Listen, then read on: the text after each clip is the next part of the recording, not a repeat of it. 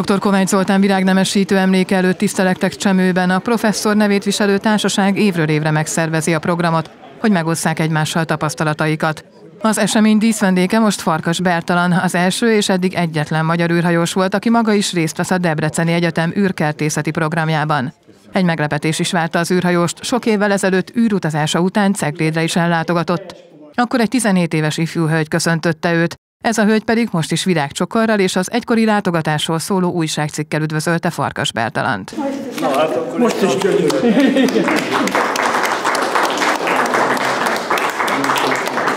Én úgy gondolom, hogy a történelemben történtek már velem olyan dolgok az elmúlt mm, közel 45 év alatt, amire mm, ha tetszik, hanem az ember örömmel visszaemlékszik.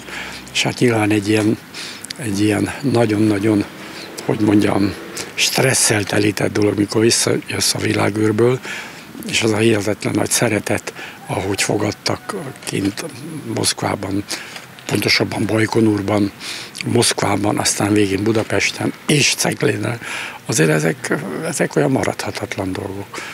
Mindig megkérdezik tőlem, hogy mi volt a leg, leg emlékezetesebb az űrrepülésem során, és én azt mondom folyamatosan, és ebben, ebben hiszek is, hogy a legelső pillanattól kezdve, amikor meglátod az űrhajót, amivel fogsz repülni, attól a pillanattól kezdve mindaddig, amíg élve egészségesen nem ér földet az űrhajó.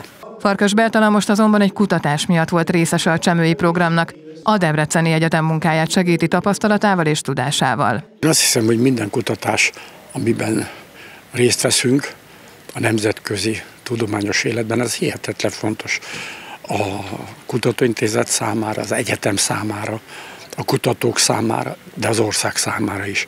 Na, nagyon fontos, hogy ha olyan területet amiben, amiben nem vagyunk rosszak, már pedig az űrkutatás, űrtevékenységben nagyon nagy otthon vannak a magyarok, nagyon komoly feladatot kaptak régebben is a magyar mérnökök, és nagyon becsülettel helytáltak, és sok-sok olyan dologra kell visszaemlékezni, Baj Zoltántól kezdve, aki legelőször a hold és a föld közötti távolságot mérte meg, és ő volt a világ első, bár az amerikaiak azt mondják egy fél évvel később, hogy ők az elsők, de hát nem ők az elsők, na hagyd mondják csak nyugodtan, de mi tudjuk az igazságot.